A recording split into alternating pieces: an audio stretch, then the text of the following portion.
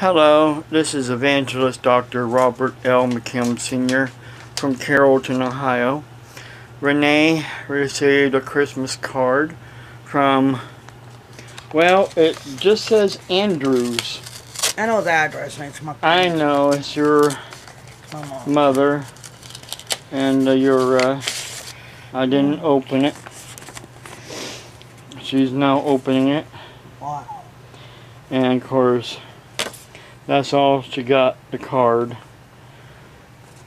Don't, uh, you know, need to show their address. Just, yeah, I know. Last year, she got this red blanket.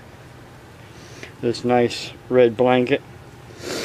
And a box with a lot of uh, photographs in it.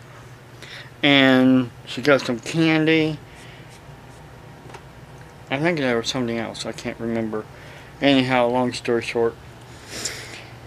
Yeah, you know, when you're ex when you when you receive something like that, and you receive something like that, and received something like that in the past, that's what you expect.